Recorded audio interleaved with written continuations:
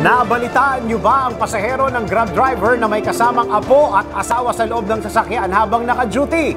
Tinutukan ito ng DZRH upang makuha ang eksaktong detalye ng pangyayari kaya sa eksklusibong, interview namin sa pasahero nilinaw nito ang mga maling impormasyon mula sa mga bintang ng mga netizen. Ang trending item tutukan sa report ni Victor de Guzman.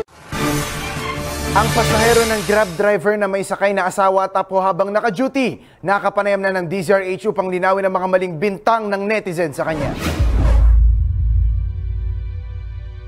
Nagbigay linaw ang nagre-reklamong pasahero ng Grab sa mga maling kumalat na detalye at ito ang mismong tinig ng hindi nagpakilalang pasahero. Ah, ano po kasi yun, sir? Nag-book po kasi ako ng Grab car. Tapos, nag-text po si, ano, si, si sir driver. Sabi niya po, ano, saan po kayo malapit? Tapos, nag-reply naman po ako. Ayun po, ang nangyari po pala nun, hindi niya po pala kami matipick up sa location, which is okay naman po sa akin yun. Kasi, minsan naintindihan ko naman po na yung mga drivers natin, ano, naghahanging ways, ganyan. Tapos, so ang ginawa ko po, sinalubo ko na lang po siya. Tapos, tinawagan ko po siya nun, sir, para, ano, yun naman talaga dapat yung gawin, tawagan yung driver para ituro yung direction. Kasi yun po, lumagpas-lagpas po po siya nun. Ngunit nilinaw nitong hindi ito ang issue niya sa Grab driver dahil naiintindihan naman niya na minsan naglolo ko rin ng app na ginagamit nila upang masundo ang mga nagbubuk na mga pasahero.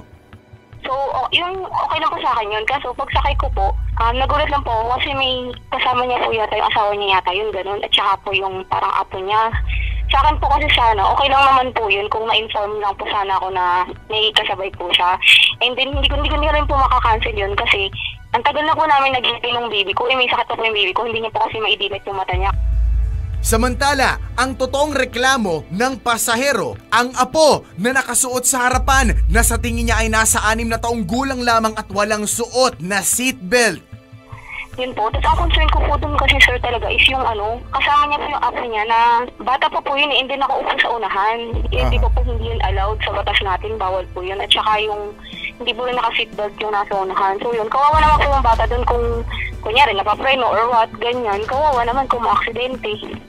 Ang anggulo ng mga netizen, ang anggulo ng mga netizen na baka raw tinuturuan lang ng bata ang driver dahil baka hindi sanay gumamit ng cellphone, itinanggi ng pasahero.